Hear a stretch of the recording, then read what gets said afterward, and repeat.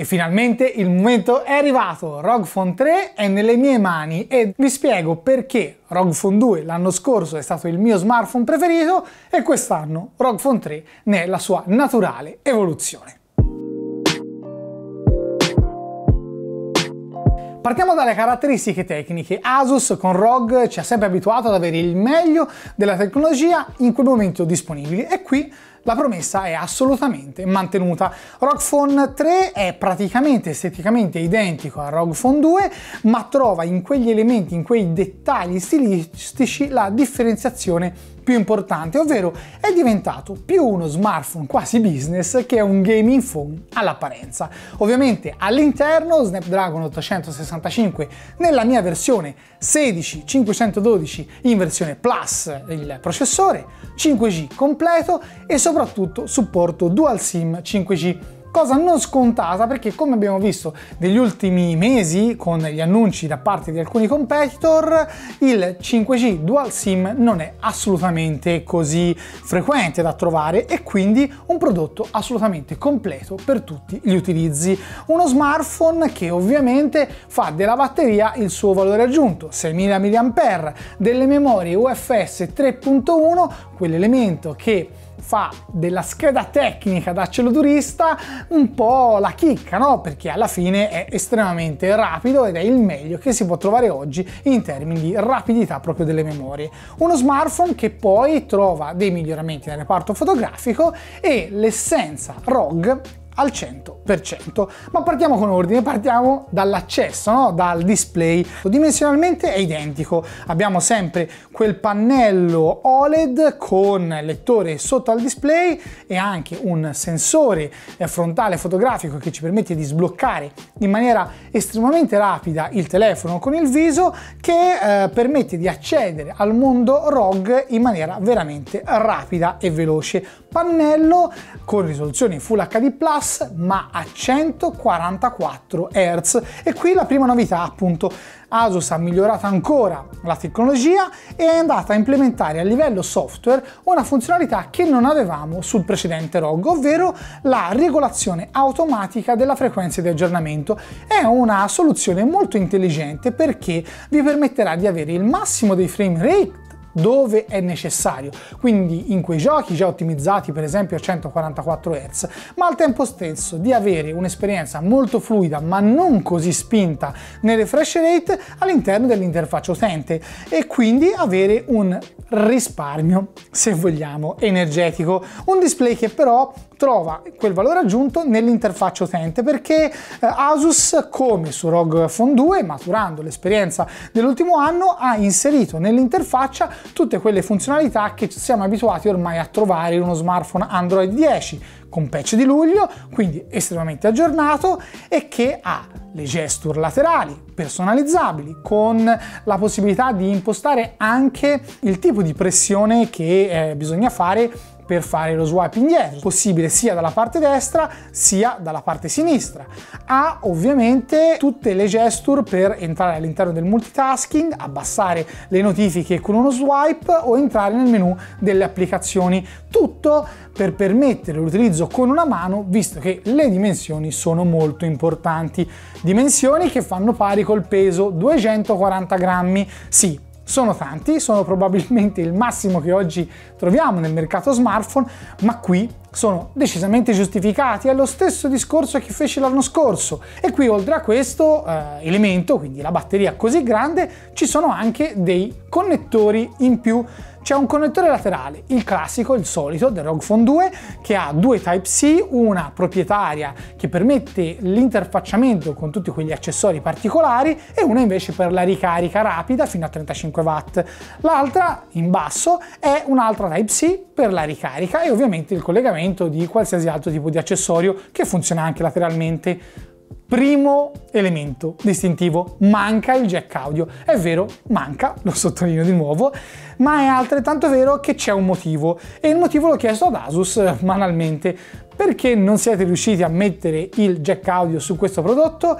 Perché per mantenere già la struttura di ROG 2 eh, all'interno di una dimensione invariata, qualche sacrificio è stato fatto. Le antenne del 5G sono comunque più grandi rispetto a quelle del 4G c'è una fotocamera in più che banalmente all'interno della scheda madre occupa fisicamente dello spazio e quello spazio era già estremamente limitato nel ROG Phone 2 e qui eh, si è dovuto trovare fondamentalmente andando a togliere quel vuoto dato dal jack audio. Dunque una motivazione che però in confezione viene in qualche modo mitigata. C'è infatti la nuova ventola che si attacca sempre lateralmente con il connettore laterale che aggiunge il jack audio. Quindi comunque se avete delle cuffie eh, a jack potete usare questo accessorio. Ovviamente in confezione c'è anche un dongle che da type C vi trasforma e vi porta fuori l'uscita eh, audio. Quindi dai insomma in qualche modo le vostre cuffie eh, normali le potete utilizzare.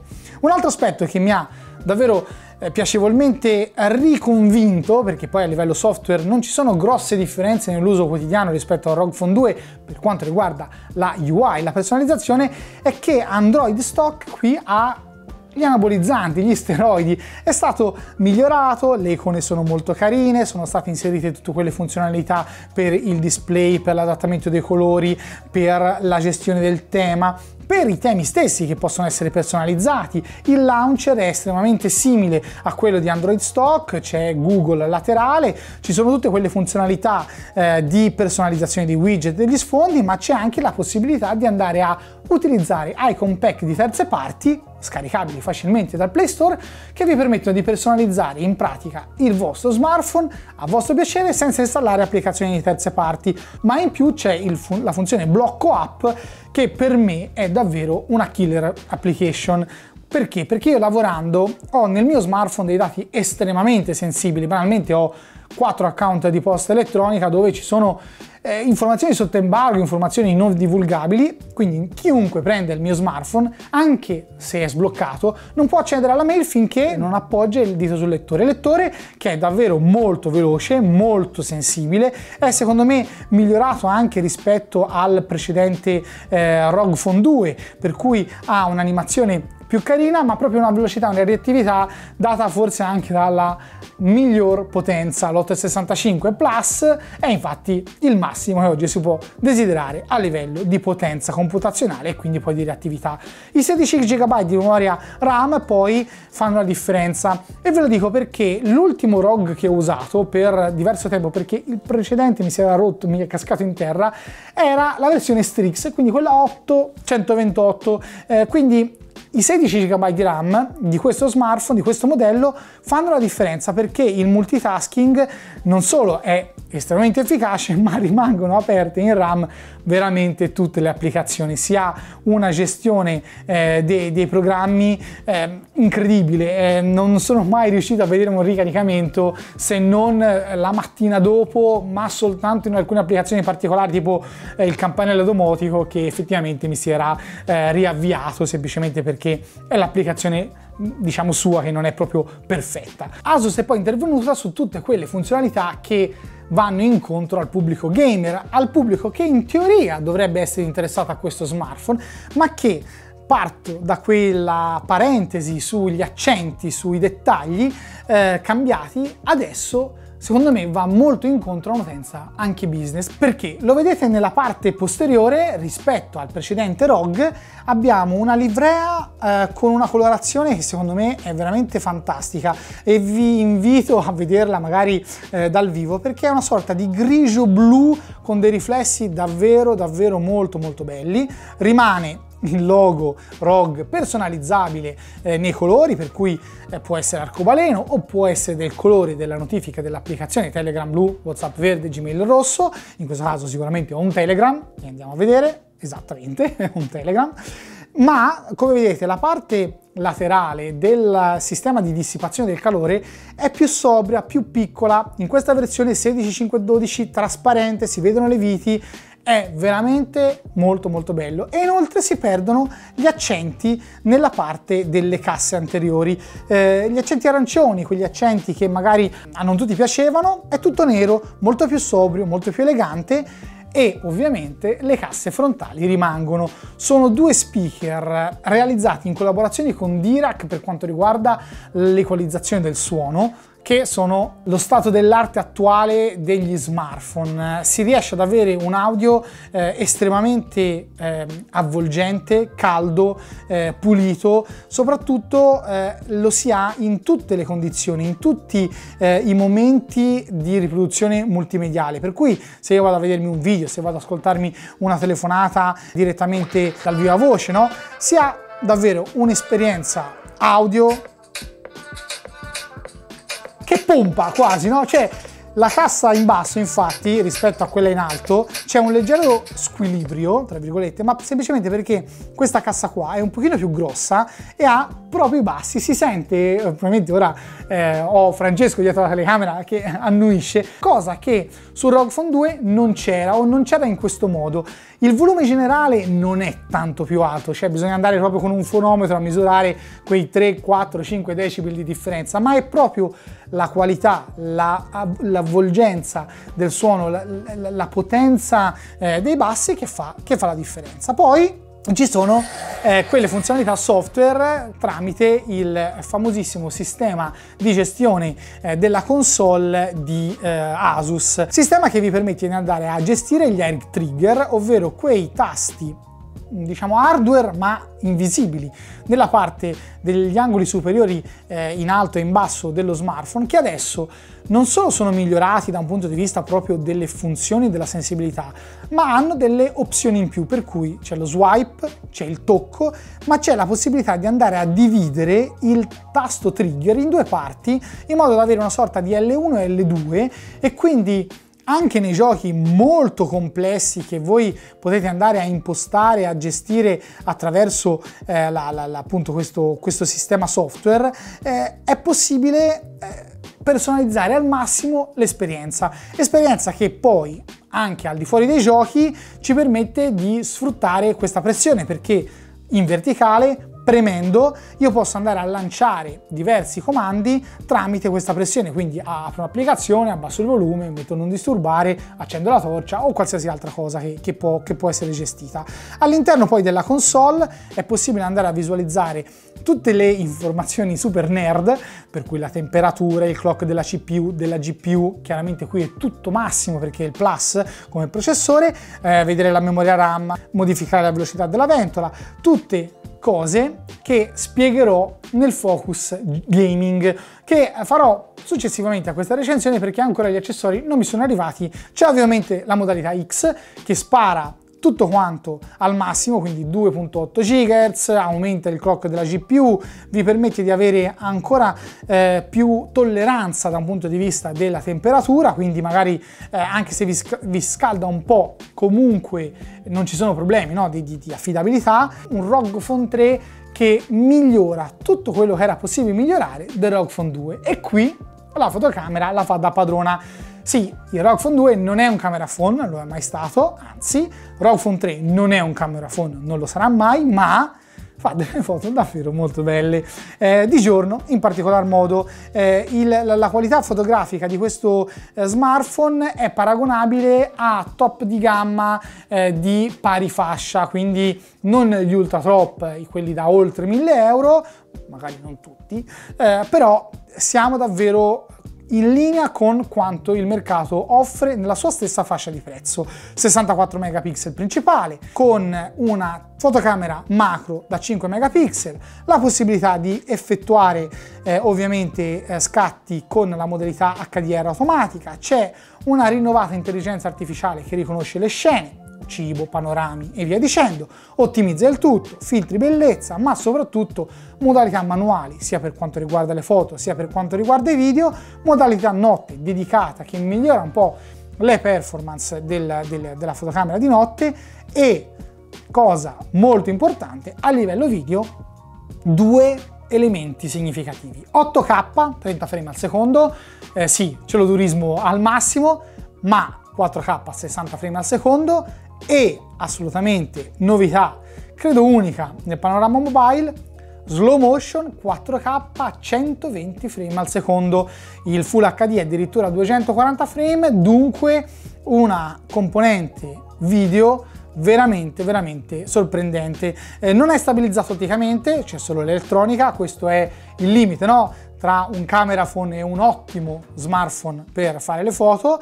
E eh, ci sono poi tutte quelle funzionalità in più avanzate all'interno dell'interfaccia che ormai eh, fanno parte diciamo di moltissimi dispositivi no? cos'altro dire ci sono delle chicche tipo il led eh, posteriore che non è il flash ma è quel led che vi permette di andare a mettere quegli accessori che vanno a colorare eh, le, le, i case, no? In questo caso Asus ha presentato con ROG Phone 3 una custodia che ha tantissimi LED qua in mezzo e che si illumina nel momento in cui vi arriva una notifica. Va a creare un effetto luminoso ancora più bello, ancora più piacevole. Custodia tra l'altro che viene data in dotazione non questa, ma quella che abbiamo visto sul ROG Phone 2 eh, l'anno scorso, quindi quella ragno, non saprei come, come chiamarla, e che eh, comunque vi dà un grado di protezione sicuramente interessante. Ora mi è arrivata una notifica, quindi ve la faccio vedere in, in diretta.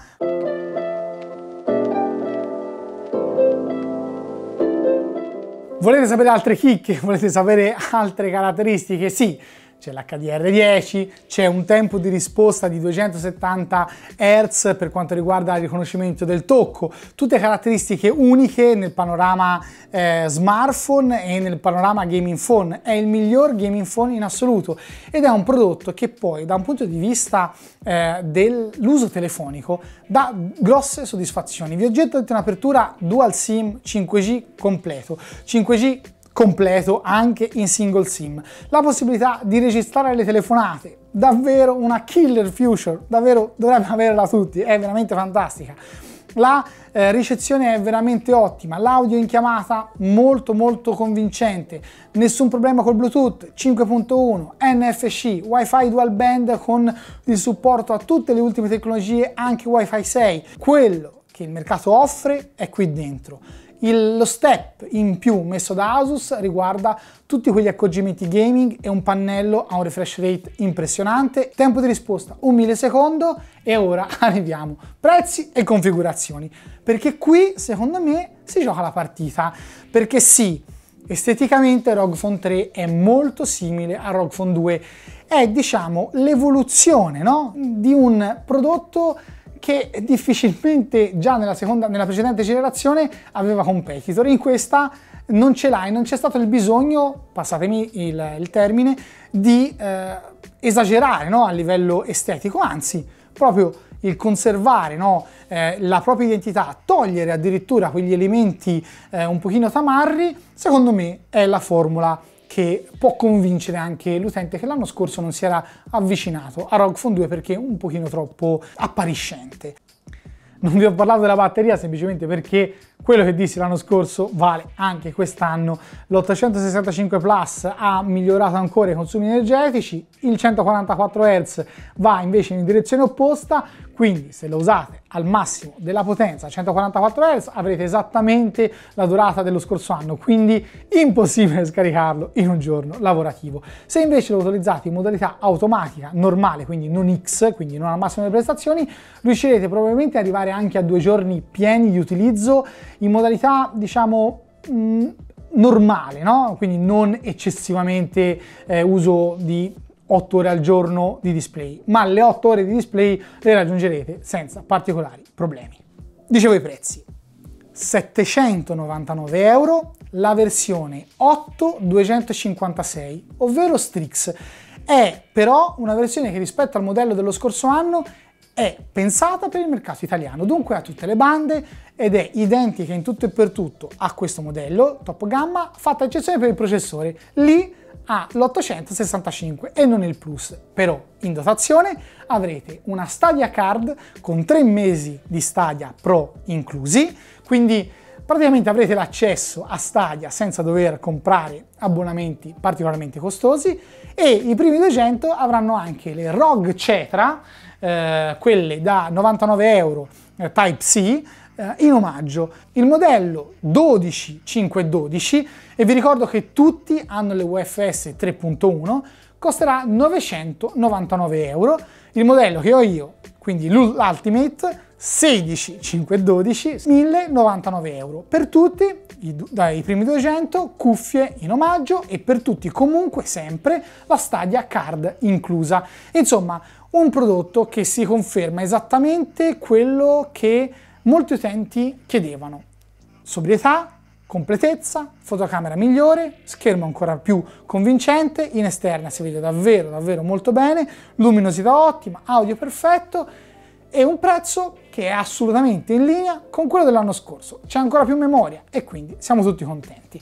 Maggiori informazioni e ovviamente i dettagli li trovate qua in descrizione. Ci saranno poi ulteriori sviluppi sulla recensione di questo prodotto con gli accessori che vi dicevo ancora non ho potuto provare a differenza dell'anno scorso. Ci sono dei accessori che sono proprio esattamente uguali un miglioramento per quanto riguarda il pad di gioco che adesso è ancora più eh, carino esteticamente un pochino più stondato e ci saranno delle novità che ancora non conosco neanche io perché sto registrando questa recensione qualche giorno prima della presentazione ufficiale dove ci saranno delle sorprese da parte di Asus. Quindi anche io dovrò conoscere magari qualche accessorio che adesso mi sfugge. Quindi torneremo su questo e completeremo poi la recensione. Ciao